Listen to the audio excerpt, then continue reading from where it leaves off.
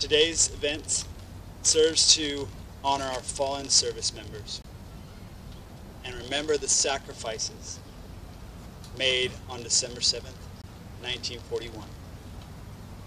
I am David Kilton, the lead for interpretation and visitor services at Pearl Harbor National Memorial. I am honored to serve as your Master of Ceremonies, and I would like to recognize a few of our attendees today. I'd like to recognize the Director of the National Park Service, Charles Sams III, and our Regional Director of the National Park Service for the Pacific West region, Frank Lands. We'd also like to uh, remember those that have been in attendance at our ceremonies, veterans that have served, and definitely those that served in World War II and the Pearl Harbor survivors that have been able to join us at the various events throughout these commemorations. I'd like to also recognize our speakers along with our distinguished guests. We are grateful for the sacrifices that have been made by the Pearl Harbor survivors, by what has been known as the greatest generation, their families, and those World War II veterans. Thank you all for making the long journey to remember our fallen service members and honor their sacrifice. Guests, please rise.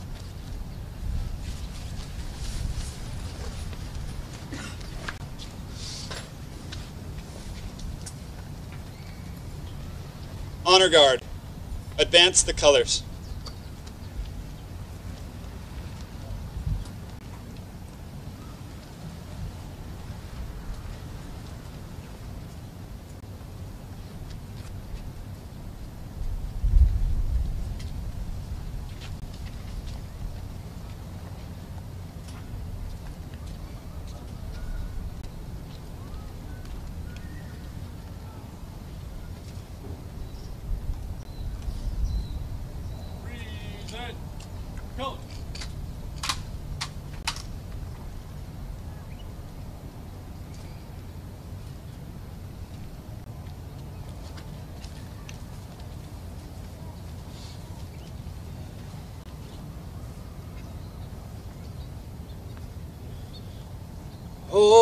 Say, can you see?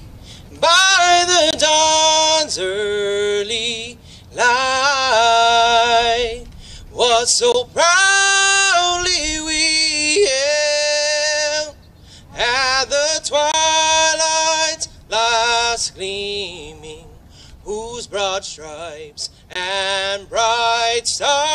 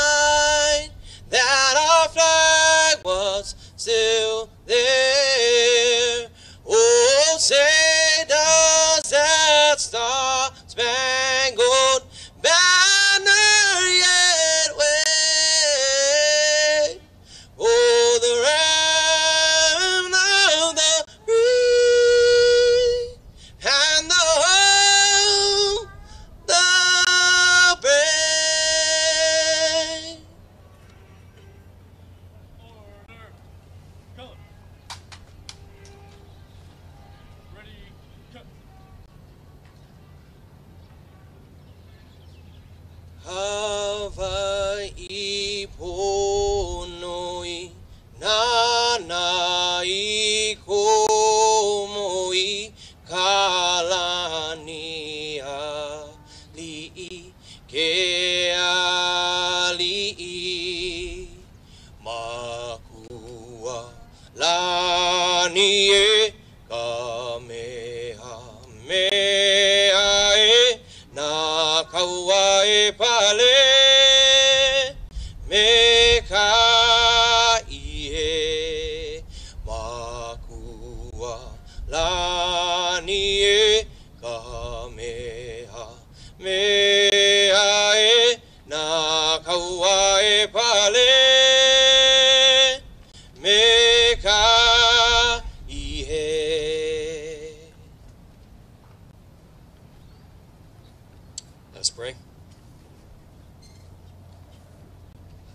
come to you now to invoke your kind mercies upon us. Today we carry in our hearts and minds the 429 souls committed over to you this day 81 years ago. They are our friends, our fathers, our grandfathers, and more. They represent the fighting spirit of the United States Navy Combat Force. They're the true embodiment of honor, courage, and commitment. And for us, they have defined our own pursuits and identity. So we thank you for the blessed honor to be connected to those heroes. We pray today's ceremony would honor their mem- memory and you, our God, by whose name we pray. Amen. Amen.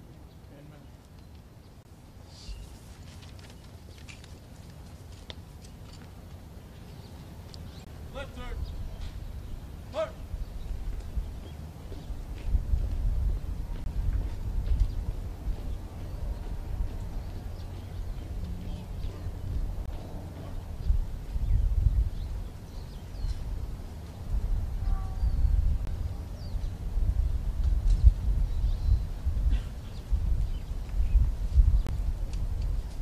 Ladies and gentlemen, you may be seated. We'd like to thank the Joint Honor Guard.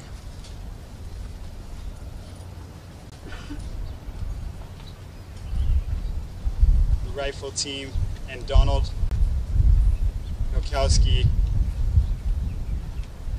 the United States Pacific Fleet Band for their support today. And thank Chaplain Elif for his invocation. We will now have uh, the rifle team uh, give salute.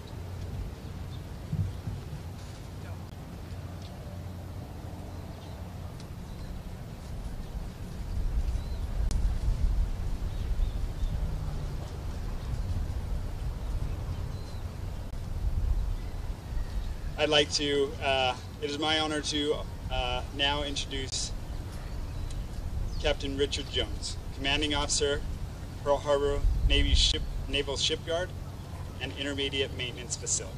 Thank you.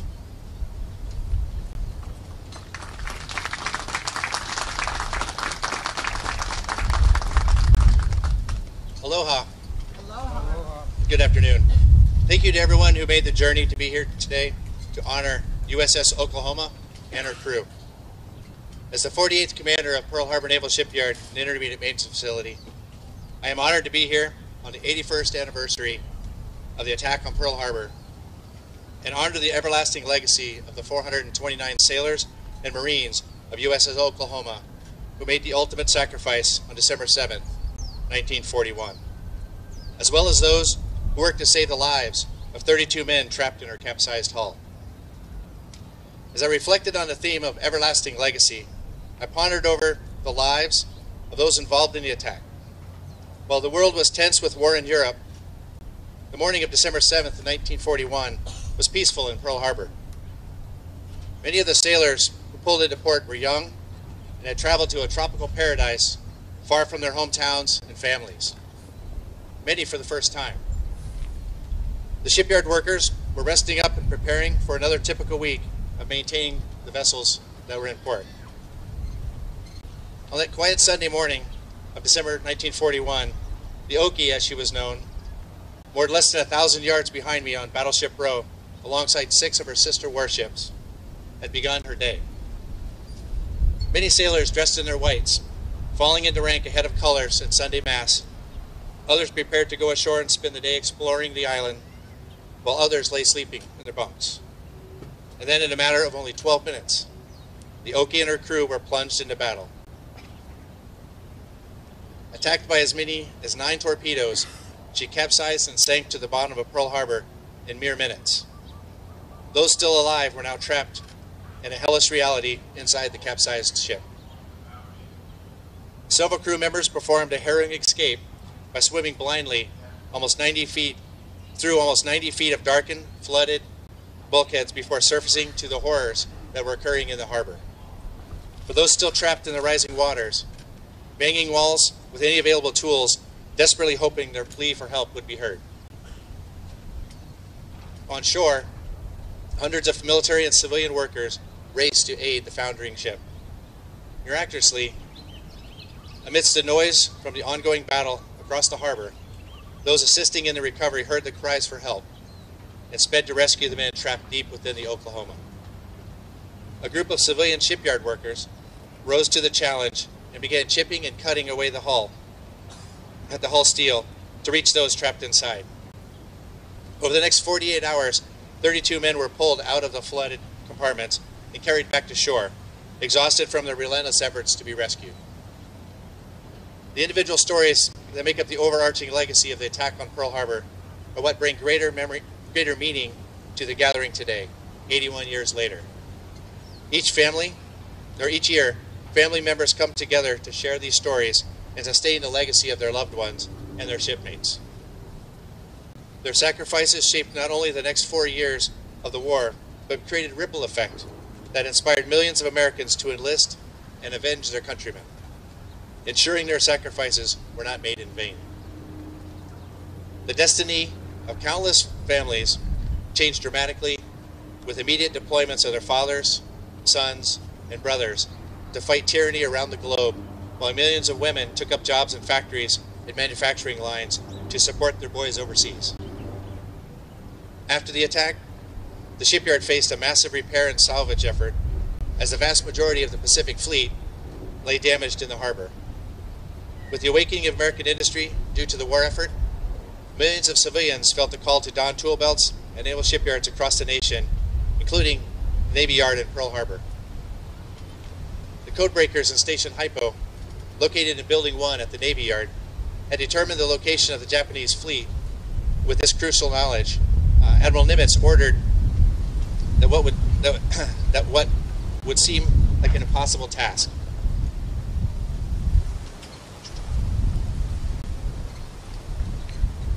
get the USS Yorktown, who had recovered, who had arrived in harbor from the Battle of Midway a mere seven months after the attack on Pearl Harbor. Need to get her ready within 72 hours, even though the repairs were estimated to take over three months, just to get her seaworthy. The shipyard workers, fueled by their dedication to keep the fleet fit to fight and avenge the events of December 7th, met this challenge, getting her underway with shipyard workers still on board to finish the repairs as the ship sailed to Midway Atoll. Their dedication allowed the ship to help turn the tide of the war in the Pacific during the Battle of Midway, again, only seven months after the attack on Pearl Harbor. Meanwhile, back in Hawaii, despite the intensive efforts taken to, to refloat her, Oklahoma was too badly damaged to be saved. Deemed beyond salvage, she was sold for scrap in 1946. However, the once mighty warship took control of her own destiny and broke free of her lines while under tow to California, sinking to the bottom of the Pacific Ocean, rejoining her crew few hundred miles from Hawaii. The Navy will continue to honor the legacy of Oklahoma along with Utah and Arizona when they return to active duty as the Navy's newest Virginia-class submarines. These are the same submarines our shipyard workforce proudly maintains today, in the very same dry docks once used by their namesake battleships during their own maintenance periods.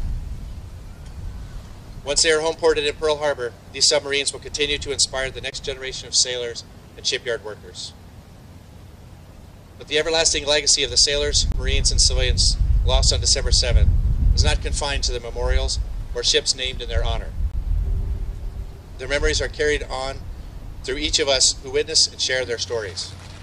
By those who take the oath and don the Navy and Marine Corps uniforms, and by those who carry on the proud tradition of keeping the fleet fit to fight at the nation's naval shipyards.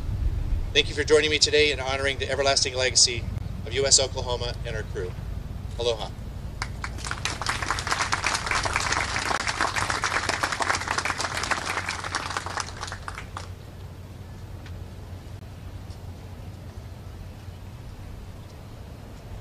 Thank you, Captain Jones. Ladies and gentlemen, please welcome Tom Leatherman. Superintendent of Pearl Harbor National Memorial.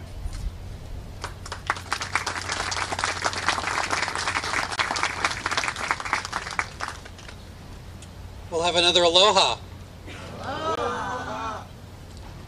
For those of you who are at the ceremony this morning, you'll know that I've been serving here as the superintendent at Pearl Harbor National Memorial for just a little over a year.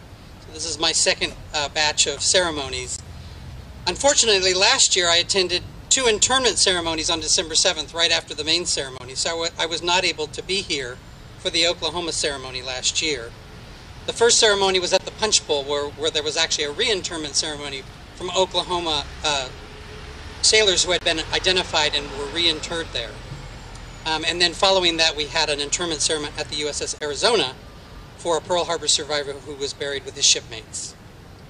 So I'm, I'm glad that I'm able to join this year, and I hope that in the future I'll be able to come to this event every year because it's an important part of the legacy that we're trying to preserve and share with, with the public uh, for the years to come. When the National Park Service assumed oversight responsibility of the memorial in 2008, we not only assumed the responsibility of caring for this physical memorial, but we, we assumed the responsibility of being the stewards for these stories that are being shared with you, and the stories that were shared just now with you about this history. Our theme this year is Everlasting Legacy.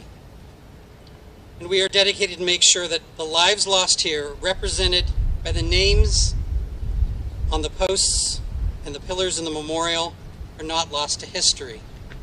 We must remember we must remember them and what they did in order to carry on their legacy, and the best way to do that is to share it. As you likely experienced getting here, it's not that easy on Ford Island. We're dedicated to finding a way to make this site as accessible as possible so that everyone has the opportunity to know the story of the Oklahoma and not just those who have base access or go on one of the infrequent tours.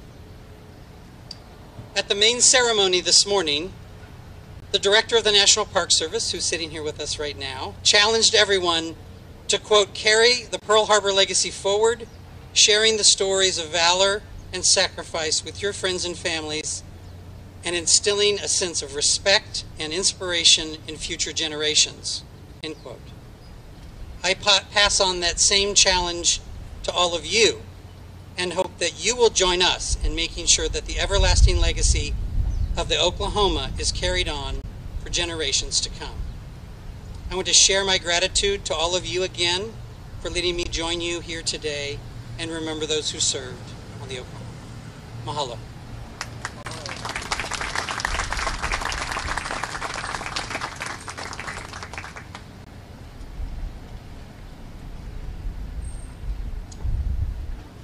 Thank you, Superintendent Leatherman. Ladies and gentlemen, please stand for the benediction.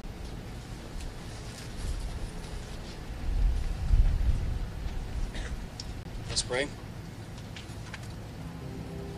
Father, grant us your grace as we depart now. May we never forget the loving sacrifice made by those whom we memorialize today. May we never cease in the relentless pursuit of character demonstrated by these who have fallen here. May we never quit in our own journey to know you and the peace that you promise your children about our own life and death. And may we never to fail to embody our duty and honor to all those who have gone before us.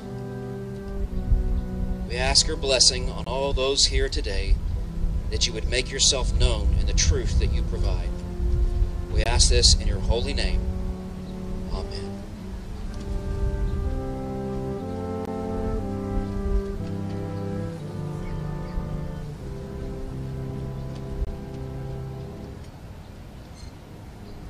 Ladies and gentlemen, please be seated. At this time, we will have uh, uh, petals, flower petals, and actual names that are listed on the post behind us.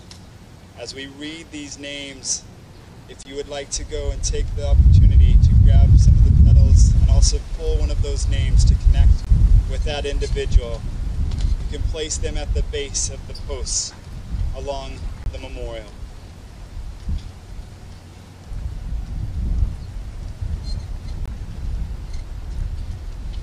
You will now have the names, 429 names of the Oklahomas, those that were lost from the Oklahoma that morning, read.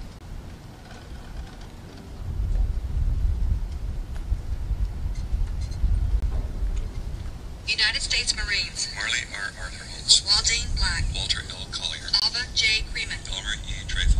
Harry H. Gabber Jr. Tad Hall. Otis W. Henry. Robert K. Holmes. Vernon P. Keaton. John F. Middleswart. Robert H. Peake. Raymond Pennington. Charles R. Taylor. Marvin B. Atkins. Willard H. Aldrich. U. R. Alexander. United States Navy.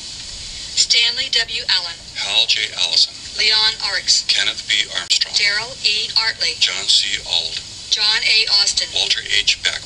Gerald J. Bailey. Robert E. Bailey. Wilbur F. Balance. Leighton T. Banks. Leroy K. Barber. Malcolm J. Barber. Randolph H. Barber. Cecil E. Barncourt. Wilbur C. Barrett. Harold E. Bates. Ralph C. Battles. Earl P. Baum. Howard W. Bean. Walter S. Belt Jr. Robert J. Bennett. Harding C. Blackburn. William E. Blanchard. Clarence A. Blaylock. Leo Blitz. Rudolph Blitz. John G. Buck Jr. Paul L. Boomer. James Bowie. James B. Boring. Ralph M. Boudreau. Lawrence A. Boxrucker. Raymond D. Boynton. Carl M. Bradley. Horace V. Brandt. Jack A. Breedlove. Randall W. Brewer. William Brooks.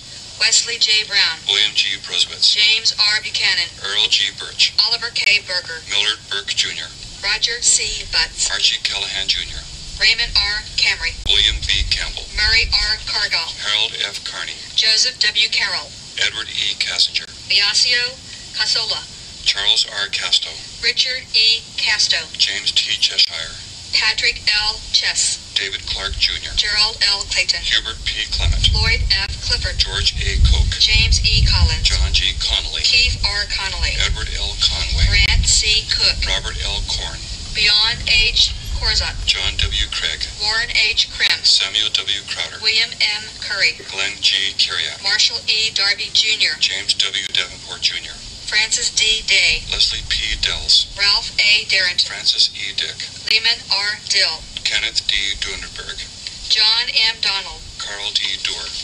Bernard V. Doyle. Stanislaw F. Drwall. Cyril I. Doucette. Buford H. Dyer. Wallace E. Eakes. Eugene K. Elberhart. David B. Edmonton. Earl M. Ellis. Bruce H. Ellison. Julius Ellsbury. John C. England. Ignacio C. Farfan. Luther J. Farmer. Lawrence H. Petro. Carlton H. Ferguson. Robert A. Fields. William M. Finnegan. Francis C. Flaherty. James M. Finnegan. Felicissimo Floresi. Walter C. Foley. George P. Foote. George C. Ford. Joy C. French. Ted M. Furr. Michael Galajic.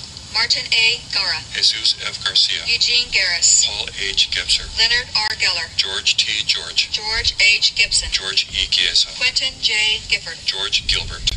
Warren C. Gillette. Benjamin E. Gilliard. Arthur Glenn. Daryl H. Joggin. Jack R. Goldwater. Charles C. Gomez Jr. George M. Goosh. Clifford G. Goodwin. Robert Goodwin. Duff Gordon. Claude O. Gowley. Wesley E. Graham. Arthur M. Grand Prix. Thomas E. Griffith. Edgar D. Gross. Vernon N. Grow. Daniel L. Gussinger. William I. Gernanis. William F. Goosey. Hubert P. Hall. Robert E. Halterman. Harold W. Ham. Dale R. Hamlin. Eugene P. Han. Francis L. Hanlon. George Hanson. Robert J. Hart. Charles H. Harris. Daniel F. Harris. Louis E. Harris Jr. Albert E. Hayden. Harold L. Heed. Robert W. Headington. William F. Hellstern. Floyd D. Helton. Jamie L. Henriksen. William E. Henson Jr. Harvey C. Herber. George Herbert. Austin H. Hessler. Dennis H. Hesed. Joseph P. Hitteroff Jr. Frank S. Hogue Jr. Herbert J. Horde.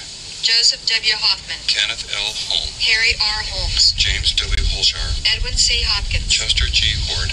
Frank A. Henowitz. Charles E. Hudson. Lawrence E. Holtwood. Robert M. Hunter. Clayton I. C. Iverson. Willie Jackson. Herbert B. Jacobson. Chalice R. James. George W. Garding. Kenneth L. Jane. Theodore Q. Jensen. Jesse B. Jensen. Charles H. Jonas. Billy J. Johnson. Edward D. Johnson. Joseph M. Johnson. Jim H. Johnston. Charles A. Jones. Fred M. Jones. Jerry Jones. Julian B. Jordan. Wesley V. Jordan. Thomas V. Jerson. Albert U. Connie. John A. Carley. Howard V. Keffer. Ralph H. Keel, Donald G. Keller, Joe M. Kelly, Warren J. Kempf, Leo T. Kinninger, William H. Kennedy, Elmer T. Koretz, David L. Kessler, William A. Classic, Vern F. Knapp, Hans C. Colnis, William L. Kvidra, D. T. Kaiser, Elliot D. Larson, Johnny C. Laurie, Elmer P. Lawrence, Willard I. Lawson, Gerald G. Lehman, Myron K. Lehman, Lionel W. Lescalt, Howard W. Lindsay, John H. Lindsley, Alfred E. Livingston, Clarence M. Lockwood, Aldous J. Lobut, Vernon T. Luke, Octavius M- Maybine, Howard S. Magers, Michael Malik, Alheo V. Malfante, Walter B. Manning, Henry C. Mason, Joseph K. Mall, Edwin B. McCabe, Donald R. McLeod, James O. McDonald, Bert E. McKinnon, Holly McKissack, Lloyd E. McLaughlin, Earl R. Milton. Herbert F. Milton, Archie T. Miles, Wallace G. Mitchell, Charles A. Montgomery, J. M. Mullet, Ray H. Myers, George E. Nagel, Elmer D. Nail, Paul A. Nash, Don O. Neer, Arthur C. Willis Wander, Sam D. Neville, Wilbur F. Newton, Carl Nichols, Harry E. Nichols, Frank E. Nichols, Arnold M. Nilsson, Laverne A. Negg, Joe R. Nightingale, Charles E. Nix, Camillus M. O'Grady, Jarvis G. Outland, Lawrence J. Overly, Alfred S. Owsley, Millard C. Pace, James Paulides Jr., Calvin H. Palmer, Wilfred D. Palmer, George L. Paradise, Isaac Parker, Dale F. Pierce, Walter R. Pentico, Stephen Pepe, Charles F. Purdue, Wiley J. Parade, Milo E. Phillips, James N. Phipps, Gerald H. Pirtle, Rudolph V. Pickering, Herbert J. Poindexter Jr., Bradley O. Perrett, Robert L. Pribble, George F. Price, Louis P. Pry Jr., Jasper L. Pugh Jr., Paul S. Raymond, Eldon C. Ray, Dan E. Reagan, Leo B. Reagan, Irvin F. Rice, Porter L. Rich, Clyde Ridenor Jr., David J. Riley, Russell C. Roach, Joseph M. Robertson, Harold W. Roche, Walter B. Rogers, Joseph C. Rouse, Charles L. Roos, Edmund T. Ryan, Roman W. Sedlowski, Kenneth H. Sampson, Dean S. Sanders, Charles L. Saunders, Lyle J. Savage, John E. Savage, Paul E. Saylor, Walter F. Schleider, Herman Schmidt, Aloysius H. Schmidt, Andrew J. Schmitz, John H. Schoonover, Bernard O. Scott, Chester E. Seaton, Bertie D. Centerton, William L. Sillen, Everett I. Iverson, William K. Schaefer, William J. Shanahan Jr., Edward J. Sheldon, William G. Silva, Eugene M. Skaggs, Gerald L. Skiles, Edward F. Slapikis, Leonard F. Smith, Merle A. Smith, Roland H. Smith, Walter H. Soley, James C. Solomon, Maurice V. Spangler, Kirby R. Stapleton, Euless C. Steely, Walter C. Stein, Samuel C. Steiner, Charles M. Stern Jr., Everett R. Stewart, Louis S. Stockdale, Donald A. Stott, Robert T. Stout, James Stoughton, Milton R. Surratt, Charles H. Swanson, Edward E. Talbert, Ranger F. Tanner Jr., Monroe Temple, Houston Temples, Benjamin C. Turhan, Arthur R. Thines, Charles W. Thompson, Clarence Thompson, George A. Thompson, Urban A. R. Thompson, William M. Thompson, Richard J. Thompson, Cecil H. Thornton, Robert L. Thrombley, David F. Tidball, Lloyd R. Tim,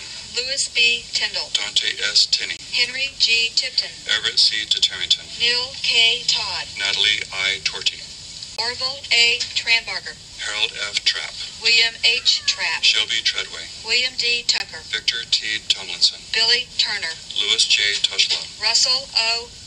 Ufford, Lowell E. Valley, Darrell Wade, Louis L. Wagoner, Harry E. Walker, Robert N. Wilkowski, Eugene A. Walpole, Charles E. Walters, James R. Ward, Edward Wolselski, Richard L. Watson, James C. Webb, William E. Welsh, Alfred F. Wells, Ernest R. West, John D. Wheeler, Claude White, Jack D. White, Alton W. Whitson, Eugene W. Wicker, Lloyd P. Wingen, George G. Wilcox Jr., Albert L. Williams, James C. Williams, Wilbur S. Williams, Bernard R. Wimmer, Everett G. Wendell, starring B. Winfield, Rex E. Weiss, Frank Wood, Lawrence E. Woods, Winfred O. Woods, Creighton H. Workman, John L. Wortham, Paul R. Wright, Eldon P. Wyman, Martin D. Young, Robert V. Young, Joseph J. Eurico, Thomas Spansky.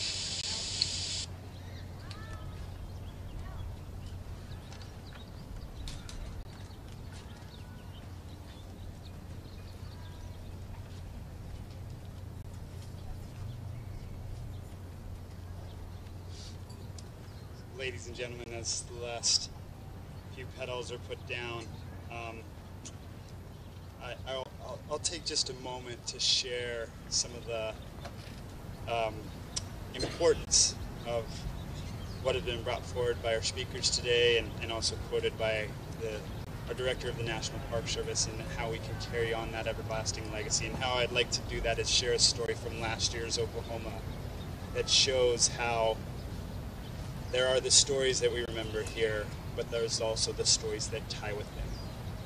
The sacrifices that were made by others at that time and how those stories connect with us. And so last year we had the honor of having some of the, the Rosies and actually one that one of the Rosies that was with us was a welder and they called them Wendy the Welders.